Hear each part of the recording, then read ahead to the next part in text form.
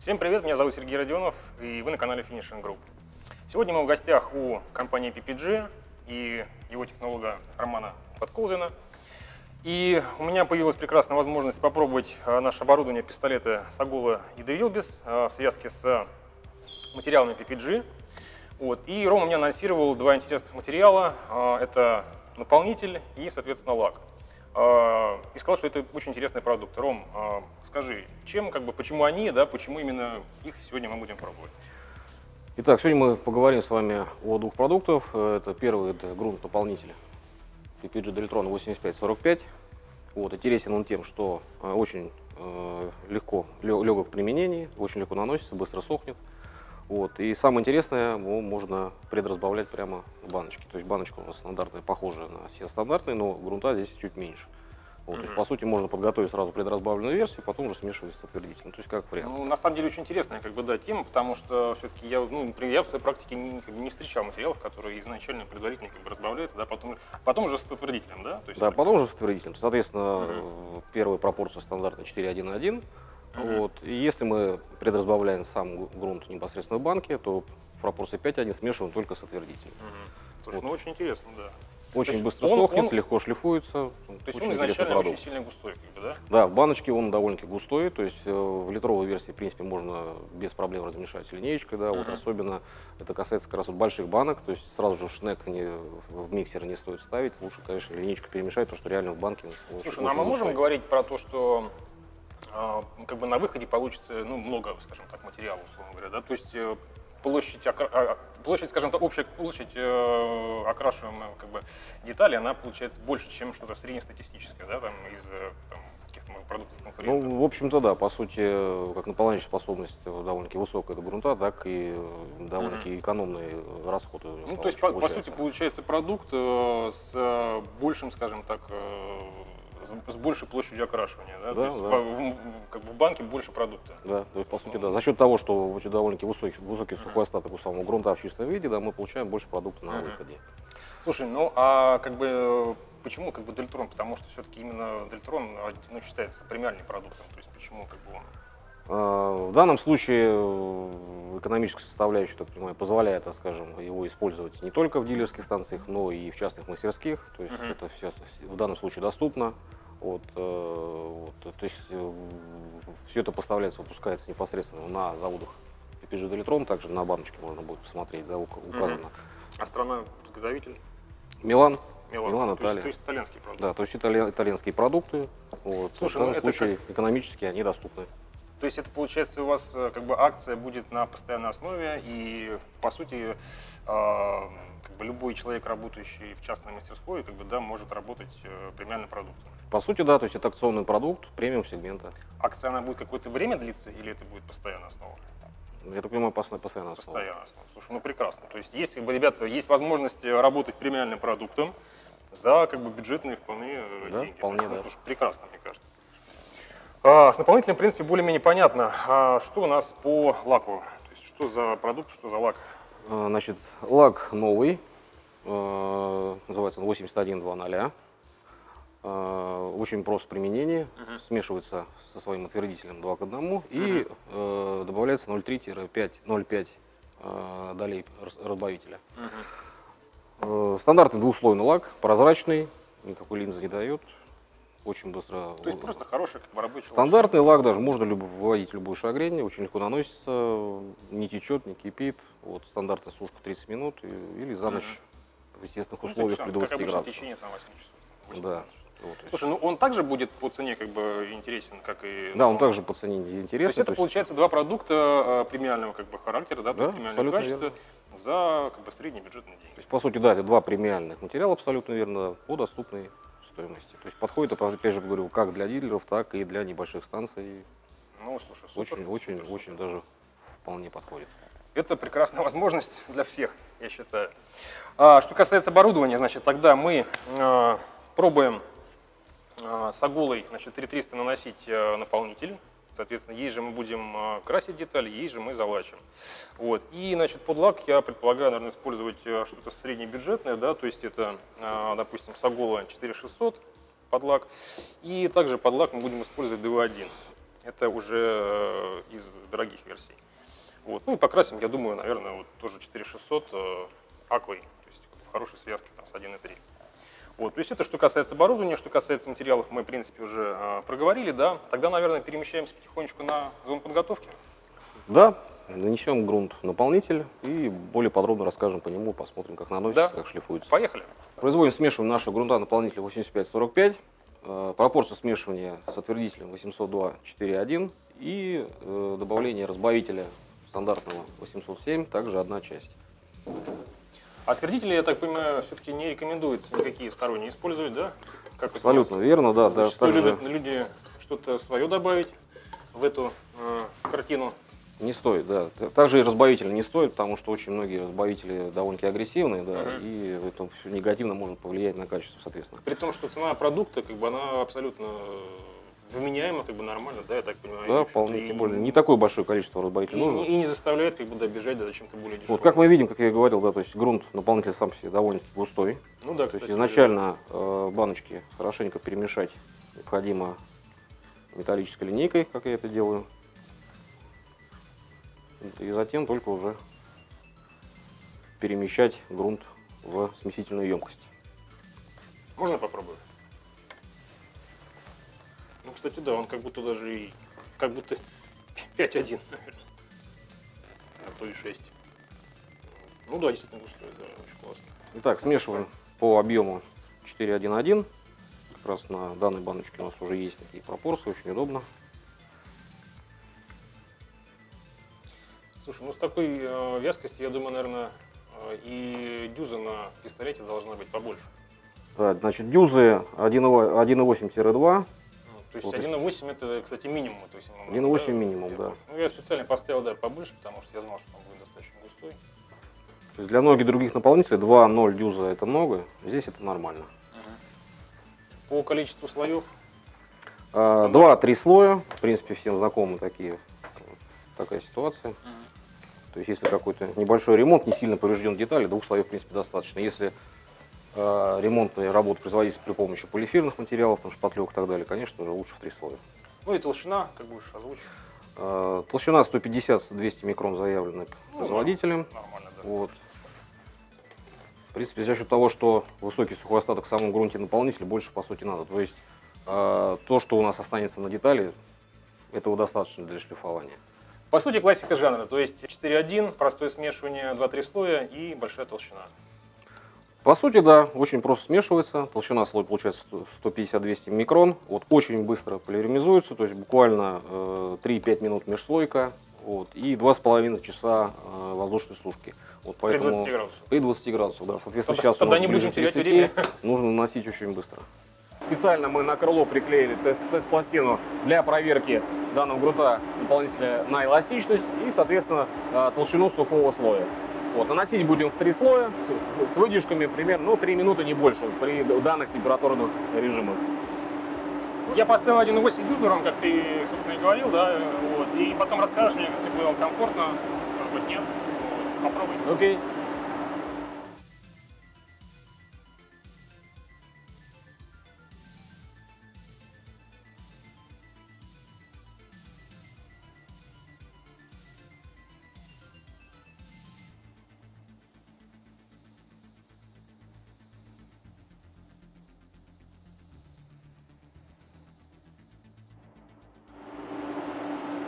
слушай, а шагрень, как бы, она подрастянется потом? А, да, при, при нанесении легкая шагренька замечается, но потом все это растягивается, э, с увеличением слоев тем более. Вот он Слушай, ну я прям... становится практически э, гладким. Вот. А, очень понравился мне этот пистолет, то есть очень плавно, мягко нано- наносит э, данный грунт наполнитель. Вот. И очень понравился факел, то есть довольно-таки широкий. Комфортно, а через 1.8 нормально, да, да. 1.8 достаточно, в принципе, вот. Если какие-то глобальные ремонты, в принципе, да, можно взять даже 2.0. Но, в принципе, для данного не сильно поврежденного крыла 1.8 дюзы и 3 слоя будет вполне достаточно. Слушай, ну я прям э, физически ощущаю толщину этого материала, как бы, да, хоть, хоть как бы присутствует такая как бы шагренька, да, но прям видно, что действительно он реально толстый, как бы, то есть, ну, реально очень хороший. я думаю, Небольшая толщина структура грунта наполнителя есть, но это говорит о том, что он э, при нанесении стабилен. То есть пост розлив у него минимальный, соответственно, он не склонен к потекам. То есть как нанес, так и осталось, по большому счету. Вот, это легкая шагренька, потом Ну, сошлифовывается как бы да, в любом случае. любым стандартным абразивом, то есть без каких-либо проблем. То есть не течет, не кипит, то есть нанес и Ну забыл. и толщину мы померяем, как бы, посмотрим. Вот, э, после нанесения прошло уже порядка там полторы-две минуты, как мы видим, уже грунт наполнитель начинает мотоветь, то есть в данном температурном режиме, сейчас порядка у нас 27 э, градусов в помещении, то есть выдержка, как и по ТДС, будет минимально там минута три, не, не более того.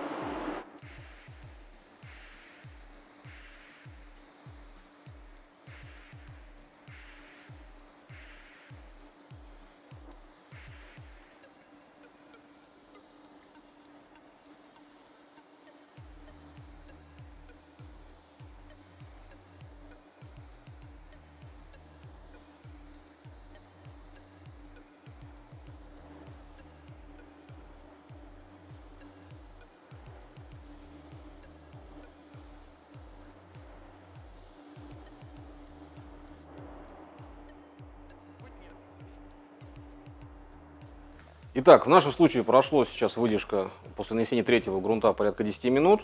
Вот, э, на отлип грунт уже готов, то есть готов уже к сушке. Вот. Сушить мы будем крыло инфокрасной сушкой, то есть по ТДС порядка 15 минут. И кашка, и, кстати, хочу с своей стороны заметить, э, очень э, нужная как бы вещь, если, допустим, есть возможность у ребят, допустим, вот у вас приобрести косушку, да, там неважно, как у бренда, как бы сделайте это, потому что очень важный на самом деле момент, это не прихоть, потому что подготовительный материал лучше, конечно, сушить ин- инфракрасной сушкой, чтобы они у вас э, давали усадку сразу. Потому что э, эти материалы, они тянут как бы за собой все остальное, то есть ваш пирог. Неважно, каким вы, допустим, какой краской вы работаете, неважно, какой а, крутости лак вы взяли, там, да, какой, значит, там, по деньгам, потому что если сырая основа у вас, она у вас сядет и потянет все ваши материалы, они будут выглядеть отвратительно потом. Вот, поэтому очень важный момент, как бы это делать надо э, сушить хорошо, соответственно, если вы работаете, допустим, в частной мастерской, Опять же, вы а, купили хороший наполнитель, толстослойный какой-то, да, филлер.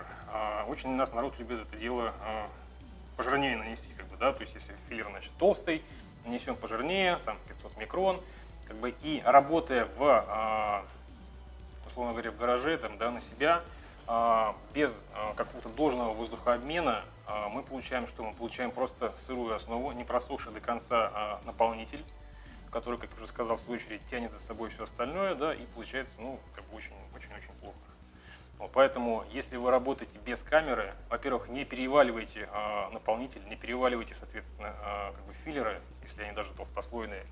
Вот, делаем все как бы согласно ТДСу, там, да, то есть если указано там 2-3 слоя, там все, как бы не надо там, э, там что-то лишнего какой-то от себя там, да, а, не увлекайтесь там без а, разбавителя, там, да, добавлением, соответственно. Если, ну, если положен, допустим, разбавитель, да, то есть 4.1.1, как у нас, лейте 4.1.1, как бы все. То есть э, учитывайте свои условия, как бы, да, и как бы думайте всегда об этом. Вот.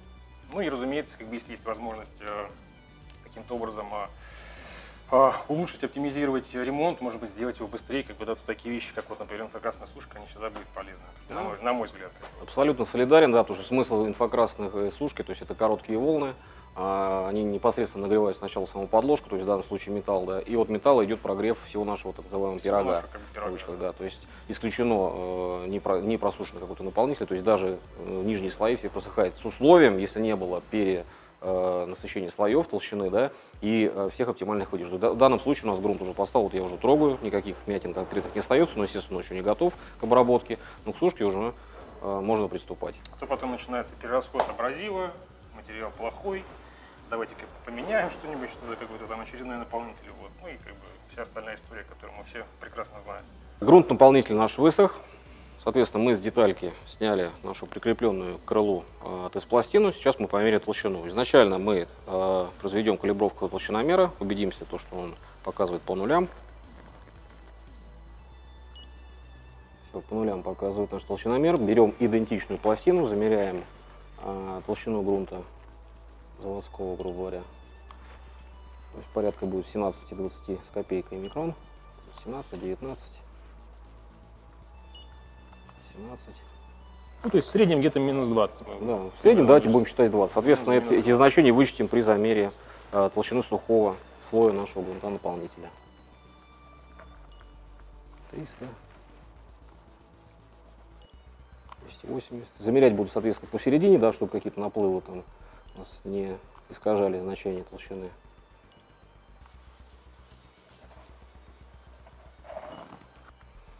Итак, исходя из э, наших замеров, у нас в среднем получилось примерно там 250-270 микрон, около того. То есть нанесение, повторяюсь, было в три слоя.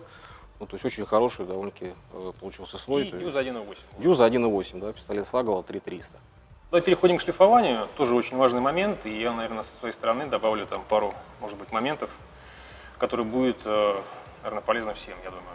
Пару слов э, про шлифование. Значит, э, рекомендую, ну, лично я, по крайней мере, значит, использовать, во-первых, проявку, да, то есть либо в э, сухом виде, либо, соответственно, в каком-то, допустим, аэрозоле, потому что она просто элементарно облегчает вам шлифование. Вот. Какие-то замены, скажем так, я не рекомендую, я не знаю, там, точить грифель из карандашей, условно говоря, потому что это не работает. Вот, то есть обычная сухая проявка. Вот. А, что касается абразивов, значит, и вообще процесса как бы, шлифования. А, если у вас есть какое-то ремонтное место, соответственно, мы начинаем с именно шлифка, потому что то, что вы не дошлифовали, возможно, скажем, тогда на этапе а, шпатлевания и залили наполнителем, потому что наполнитель так или иначе он все равно а, немножко просаживается, да, вне зависимости как бы от его бренда, там, от стоимости, усадка есть, потому что есть как бы органика да, в составе, поэтому она э, испаряется.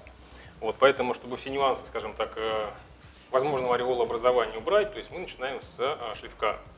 А, абразивность, как бы это уже смотрите как бы сами, да, там по толщине, по а, повреждению, скажем так, да, детали. Вот. Можно начать там, с там, 280, как бы, да, и закончить там 400. Вот, можете сразу взять, допустим, 320, то есть это уже индивидуально. Вот. А если, допустим, повреждений как бы у нас нету, как вот на нашем крыле, да, мы можем начать с просто круга, просто круга и с машинки. Что касается а, подбора, скажем так, абразива, да, а, я лично рекомендую работать одним брендом. То есть не брать что-то там подешевле, подороже, там дали на какую-то операцию подешевле, на какую-то подороже. Потому что у разных брендов а, калибровка зерна, она разная. То есть они, в принципе, укладываются, скажем так, общепринятые нормы, там, да, там, по ФЕПе там, и так далее, но в любом случае какие-то абразивы более злые, какие-то более, скажем так, тонкие, да. Бренды сейчас я приводить как бы не буду, так, к примеру, да, но это есть. Это есть, соответственно, я думаю, как бы вы все знаете об этом.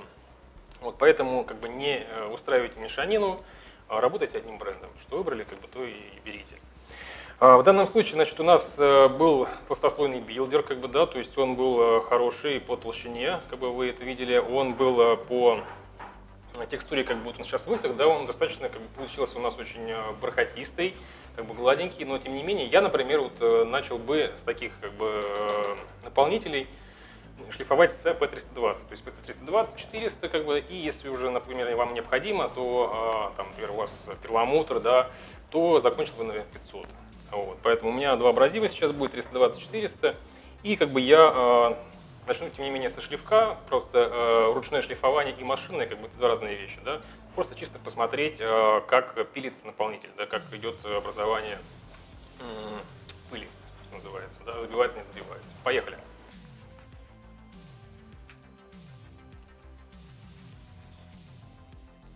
Как мы видим, структура грунтонаполнителя довольно-таки небольшая, сошлифовывается абразивом P320 довольно-таки легко. Сам грунтонаполнитель высох, не забивается. Вот. В принципе, как в нашем случае, незначительное применение бруска или шлифка можно использовать в принципе, без пылеотвода. Если на постоянной основе, так скажем, используете данное оборудование, лучше, конечно, подключить к пылесосу. По поводу толщин, сушки и так далее. То есть, если э, довольно-таки серьезный у вас ремонт вы производите на какой-то детали, и вы чувствуете, что, допустим, а, восстановление при помощи шпатлевки, так скажем, не полностью, так скажем, эффективно, где-то нужно подзалить, так скажем, грунтонаполнитель. Можно, конечно, чуть побольше подзалить, но в этом случае сразу сушку не включайте, лучше оставить на ночь этот грунтонаполнитель, чтобы он естественным путем схватился, и уже на следующий день там, или на утро да, его подсушить уже финишно. Соответственно, не будет никакого закипания и так далее. То есть внутри он также будет Э, полностью сухой. То есть на, на всем протяжении, на, все, э, на всей толщине этого грунта наполнителя. Значит, я отшлифовался. Э, несмотря на то, что шагрень присутствует, спиливается он очень легко, и при этом наполнитель эластичный, как бы эластичный, но он пилится легко, пыль сухая присутствует, это говорит о том, что он хорошо просох, вот, и он не забивает абразив. То есть шлифование у нас идет очень легко и, собственно говоря, без напрягов. А, я сейчас перейду к шлифованию кругами. Вот. И что-то ты хотел сказать, Рома, про эластичность. Да, как раз по поводу эластичности можно вернуться к, нашему, к нашей тест-пластине. Вот, она также сохла, как вы видели, э, вместе с крылом под ЭКшкой. Можно просто-напросто сделать вот так вот. Согнув ее, мы видим, что довольно грунт эластичный даже с этой толщиной. То есть это очень, очень хороший показатель. В процессе эксплуатации автомобиля не будет какого-то сильного сколообразования и так далее. То есть очень, очень хорошие А толщина была такая сильная. Да, да, толщина здесь получается у нас в разных точках, до, ну, вплоть до 300 микрон. У нас было 15 минут инфракрасной сушки, при этом за 15 минут и кашки там высох нормально, то есть ну, шлифуется очень хорошо и быстро, и прямо до пыли, что называется. Шлифование начинаем с абразива P320, э, ход эксцентрика машинки 2,5, поскольку это финишная операция. Поехали.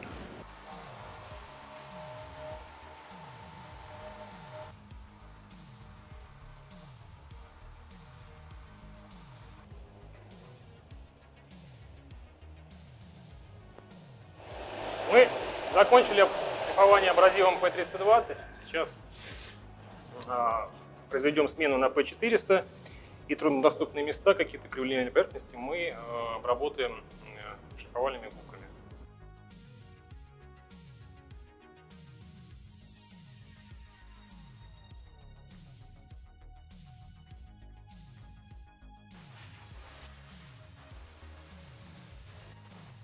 Мы подготовили детали под э, окраску, соответственно, закончили мы абразивом P400. А, Обезжирили, обеспылили, соответственно, мы готовы красить. Я предлагаю, Ром, а, покрасить а, из двух пистолетов. Соответственно, один пистолет у нас будет э, 3300 Сагула, это универсальный пистолет. Им же мы наносили наполнитель, соответственно, им же мы покрасим, им же мы завлачимся. И э, второй пистолет, это будет премиальная версия э, пистолета Сагула 4600. Это мы используем под э, краску, под базу. А, Соответственно, голова здесь будет э, Aqua и Views 1.3. Соответственно, здесь то же самое будет голова Тех и Views 1.3. Ну что, красимся? Базовое покрытие у нас PPG Deltron, цвет красный у нас 3R3 Toyota. Вот. Будем наносить на P400, если будет, соответственно, более сложный цвет, какой серебро, лучше, конечно, рисочку сделать поменьше, P500. Вот. Наносить будем по стандарту, три слоя.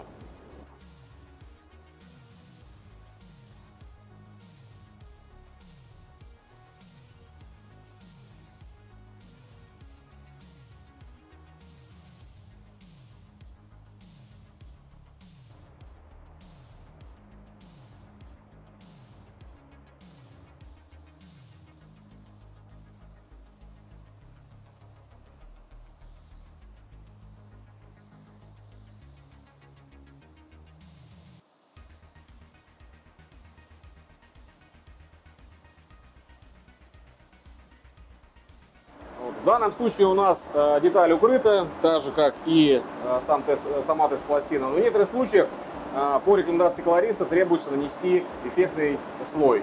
То есть в каких-то случаях это 2,5 слоя, где-то 3,5 слоя. Да? Все зависит от цвета, укрывной способности, цвета э, подложки и так далее. Вот. Что мы сейчас сделаем на это крыло? Вот. Мы обычно рекомендуем э, наносить его э, более тонко, можно, можно варьировать расстоянием распыления, скоростью прохода. То есть он, он не должен быть таким плотным, как первые вот эти три слоя, что мы наносили ранее. Так наносим.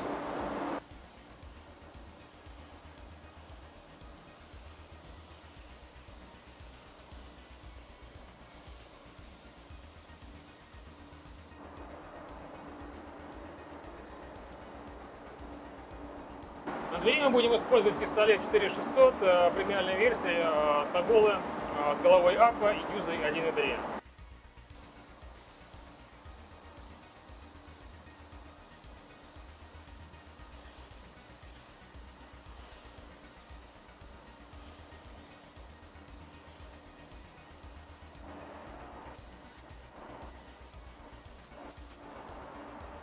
Хочу обратить внимание ваше на то, что э, на разных э, по цвету подложках э, одна и та же краска выглядит совершенно по-другому. Это очень важный на самом деле момент, выбор подложки, цвета подложки перед э, покраской, потому что, э, как вы видите, да, что э, крыло и дверь выглядят совершенно по-разному. Да? Здесь темно-бордовый, как бы здесь более такой вишневый, как бы красный. Вот. И это важный момент, потому что опять же, от этого будет зависеть ваш как бы, оттенок, да, то есть э, сходили вы к колористу, подобрали цвет, но неправильно выбрали цвет подложки, не оригинальный, не заводской, что называется, да, и ваша работа, как бы, она будет на смарку, потому что у вас будет э, крайне отличаться э, цвет краски. Поэтому правильно всегда выбирать цвет подложки и грунта.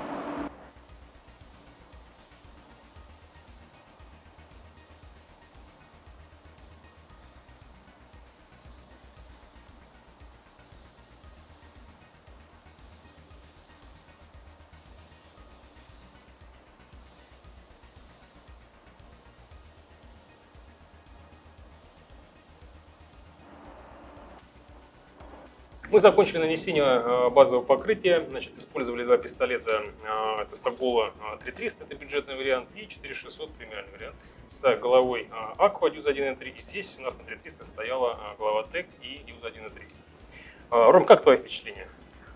Касаемо пистолета Сагола 3300, универсальный краскопульт, то есть, помните, мы на его наносили только с Дюз 1.8. Шлифуемый наполнитель, соответственно, мы сейчас поставили комплект 1.3. Данный комплект идеально подойдет как для мокрого грунта, э, для базового покрытия и для лака.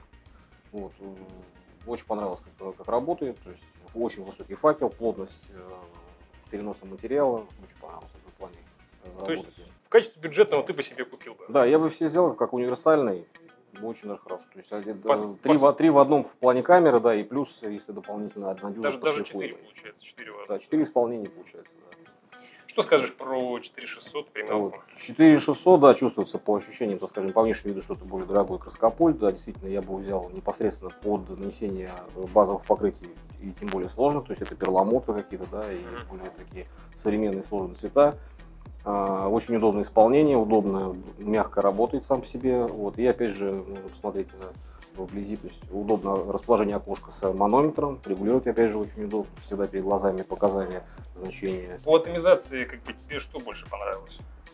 А, по большому счету сама атомиза... ну, процесс окраски атомизации в обоих пистолетах великолепный, честно говоря. Просто ну, вот 4600 я хотел бы отметить, что более грамотное распределение эффектов частиц будет именно в э, серебро и перламутр. Мне кажется, как бы да, это это заметно именно как бы на сложных цветах, потому что на я тоже как бы красил, да, да и ну, разумеется, я, разумеется, я красил. Вот. И все-таки, да, он работает немножко помягче, вот. И э, если будут какие-то сложные цвета, да, то есть серебро может быть, да, то, конечно, 4600, наверное, все-таки это работает. По в данном свете особо, говорю, разницы по переносу базового покрытия, распределению я особо не заметил. Да. То есть оба пистолета справляются на Мне кажется, 80% цветов, которые как бы, мы используем да, при покраске, то есть будет э, одинаково хорошо отрабатывать, потому что тем пистолетом, в общем-то. Ну, а сложные цвета, да, если вот вы работаете такими, да, у вас часто заходит, может быть, какие-то, вы работаете люксовыми брендами, там, да, там, Lexus, не знаю, Toyota, еще что-то, вот, то, конечно, такой пистолет иметь профессиональный очень тоже было бы неплохо. Мы переходим э, к лакированию. Ром, расскажи, почему именно этот лак, почему взяли его? Ну, во-первых, лак это относится все-таки к премиальному, всем известному бренду, да, то есть выпуск, выпускается он непосредственно на Западе. Вот, очень просто нанесение, реально легко наносится, легко смешивается, пропорция смешивания 2 к 1, плюс разбавитель 0,3-0,5. А, прозрачный, не желтит, не линзит, э, не течет, не кипит. То есть стабильность нанесения, небольшой построзлив есть, но в меру. Вот. Отлично сохнет в различных э, температурных режимах, то есть как в ОСК, так и воздушной сушки, все зависит, естественно, от температуры применения, да, варьирует немножко, но все-таки. Э, и великолепный блеск на выходе, то есть минимальные просадки, никаких закипаний и так далее. То есть вот основные его характеристики. То есть хорошая рабочая лошадка за вменяемые деньги. Да, стандартный Причем лачок. это премиальный бренд. Да, это премиум, очень хорошего качества, стандартного. То есть... Ну, отлично. Итак, приступаем к смешиванию данного лака. А, лак смешивается 2 к 1 с своим HS отвердителем 8238 и добавляется разбавитель 807 02-05. Лак, как мы видим, прозрачный. Вот, смешаем немножко с запасом. Отвердитель также прозрачный. Повторяюсь, 2 к 1 с лаком. Вот. Далее в идеале перемешать эту смесь для того, чтобы процесс полимеризации был для всех слоев как снизу, так и сверху. Добавляем разбавитель. А, пропорции идут 0,2-0,5. Если процент множится соотношение, то это 15-25 процентов. Итак, окончательно перемешиваем все наши три компонента. Э, жизнеспособность лака порядка 6 часов. Естественно, чем выше температура у нас, чем срок это сокращается. Вязкость лака составляет 17-19 секунд. Вот, наносится он в два слоя. Толщина сухого слоя на самом выходе получается 55-60 микрон. Выдержка между слоями 5 минут, окончательная выдержка пересушка 10. Э, окончательная сушка в ОСК при 60-30 минут. Вот. Э, воздушная сушка, если мы наносим, так скажем, ну, в зоне подготовки там, да, э, в цеху, то порядка ну, от 8 часов. Все зависит опять же от температурного режима. Плачить мы будем тремя пистолетами. Это пистолет Сагула 3300 с головой ТЭК и Юз 1.3. Это бюджетный пистолет.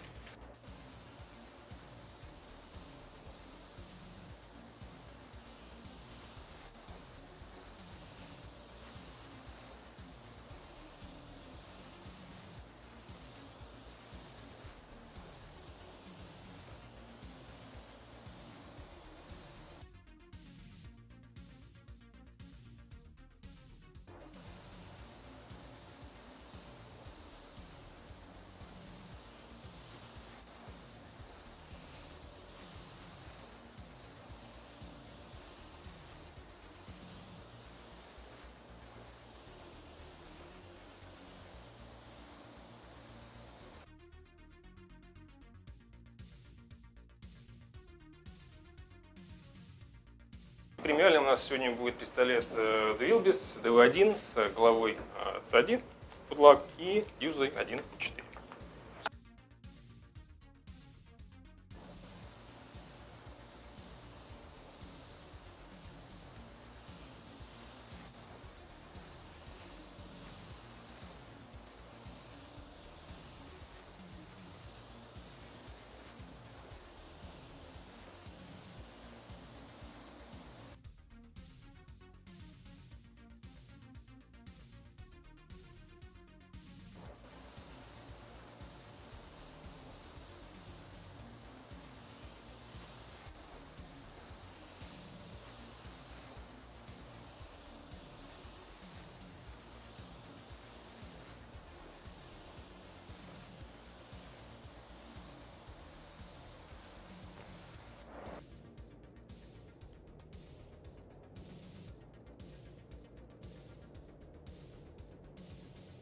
премиальной версии 4600 а, с головой Clear, стандартная голова для лака и Duse 1.3.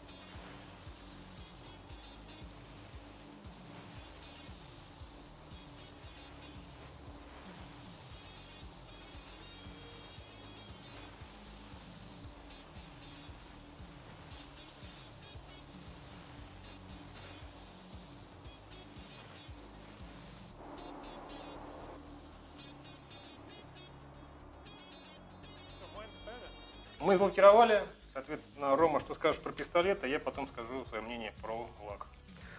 Итак, слева от меня детали мы нанесли из э, пистолета 3300, дюза 1.3. Э, уже известный это краскопульт, как я и говорил. То есть перенос колоссальный, э, очень удобно им работать, универсальность. Вот. Э, соответственно, право, справа от меня деталь DV1, э, дюза 1.4.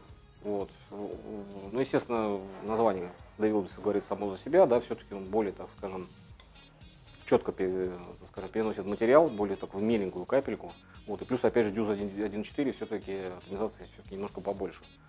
А там, мне кажется, шагрень такая самая мелкая, наверное, да, получилась? Да, у нас получается здесь из трех деталей получится здесь самая мелкая э, шагренька, на этом крыле покрупнее, ну и я так предполагаю, скорее всего, на дыре будет... э, Она тоже как бы не, не крупная, да, но она более Да, она более, то есть, розлив на правой детали у нас получился побольше, то есть из-за того, что, скорее всего, 1.4 дюза, да, здесь 1.3. Вот, но если вы заметите, да, то есть независимо, опять же, от структуры, лак блестит довольно-таки неплохо везде. То есть издалека будет блеск довольно-таки высокий. То есть о чем говорю, что э, техника нанесения и выбором дюза краскопульта, типа краскопульта, можно, в принципе, под любой бренд автомобиля подогнать эту шагрень. То есть мелкая, пожалуйста, там, корейцы, там, не знаю, да, там, Hyundai, Kia и так далее, да, более покрупнее, там, не знаю, там, немец то же самое, да, там, Шкода и так далее. И, соответственно, залив, ну, угу. на любителя, там, черные автомобили, ну, я вот, очередь, и так далее. Я в свою очередь хочу сказать, да, что э, лак действительно простой, как бы он в нанесении, то есть э, от него не, не ждешь каких-то там э, фокусов, там, да, он без пост какого-то розлива, он без оттяжек, в общем-то. И, наверное, в этой простоте, как бы, да, его тоже плюс, потому что ну, не, не всегда, скажем так, нужен лак действительно там с каким-то сложным там нанесением, там, да. вот, то есть абсолютно прогнозируемый. Лак как нанес, так он, собственно, и получился. То есть, если вы хотите действительно разлить, вам надо разливать его, то есть вам надо вбить его. Если вы э, там что-то хотите сделать корейско, там усредненное, там, да, что-то по рынку, то есть, в принципе, что-то такое среднее стандартное нанесение. Вот, то есть он э, не сильно разливается, он, он остается таким же, как вы и нанесли, как вы смоделировали его изначально. Поэтому наносите сразу так, как вы хотите это сделать. Вот. А, ну, сушка, толщину мы, значит, э, померяем. Да, Сейчас у нас э, произошла окончательная выдержка, порядка ну, 10, 10 минут это в идеале, да, у нас получилось порядка 15 с учетом виде, съемки видео, да. Вот после этого запускаем сушку, 30 минут при 60, все стандартно. Вот после э, того, как детали остынут, мы померяем толщину нашей пластинки, как раз специально заклеил для этого скотчем, для того, чтобы было пони понимание, да, где заканчивается база и начинается лак. Вот, и сделаем окончательные выводы уже по качеству э, нашего окрашенного покрытия. Слушаемся. Наше покрытие высохло, э, лак 8100. Не совсем, конечно, корректно, может быть, изначально замерять толщину, все-таки лак еще окончательной твердости не набрал, но все-таки для частоты эксперимента произведем замеры. Проверяем работу толщиномера. Вот у нас показывает 0 на нашей проверочной пластине, соответственно, сейчас проверим толщину базы и грунта на пластинке непосредственно. Несколько измерений.